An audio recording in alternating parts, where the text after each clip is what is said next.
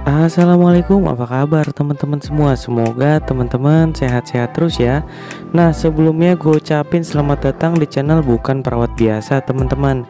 Dan gue mau ngucapin banyak terima kasih buat teman-teman yang udah bantu support channel ini dengan cara subscribe, share, serta like. Gue doain teman-teman semua sukses terus, sehat terus, dan berkah terus ya. Amin. Nah, pada video kali ini ya kembali lagi di channel gue ya.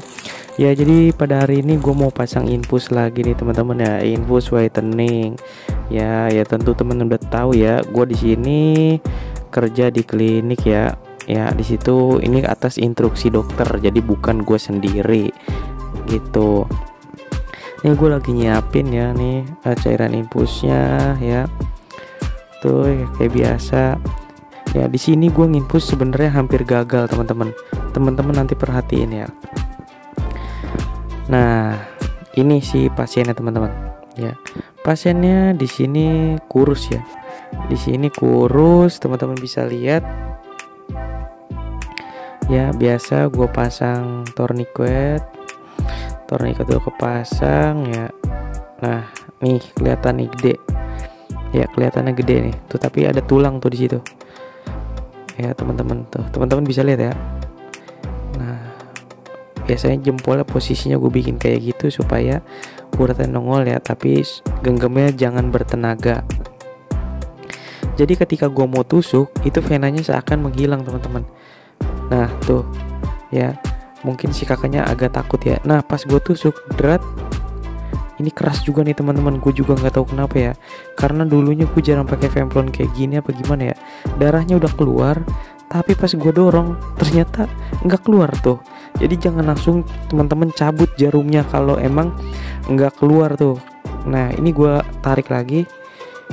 Gue tarik nggak keluar juga teman-teman darahnya waduh di sinilah seninya teman-teman ya. Teman-teman jangan langsung berputus asa. Jadi kita perbaikin dulu ya.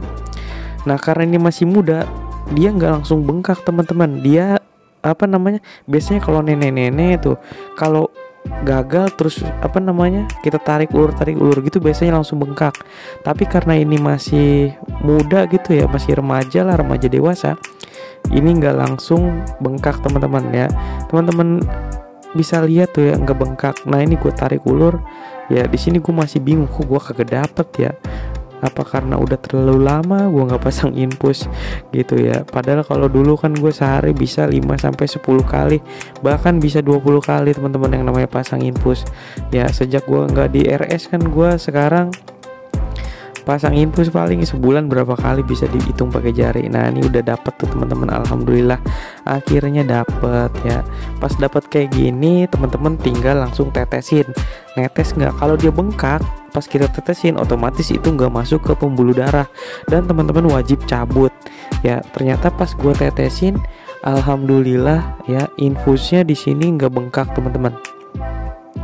Tuh teman-teman bisa lihat ya nggak bengkak ya kalau udah netes dan kebengkak jadinya sih langsung aja teman-teman pasang plesternya karena ini infus whitening ya jadi gue pasang mikropor uh, cuman seperlunya aja teman-teman. Gitu. Tuh teman-teman bisa lihat ya. Ya alhamdulillah sih akhirnya netes juga gitu teman-teman ya udah langsung kita posisiin seperti ini ya supaya nggak ngelewar-ngelewar talinya dan fiksasinya agak kuat ya. Seperti ya ini aja sebenarnya udah kuat sih teman-teman ya.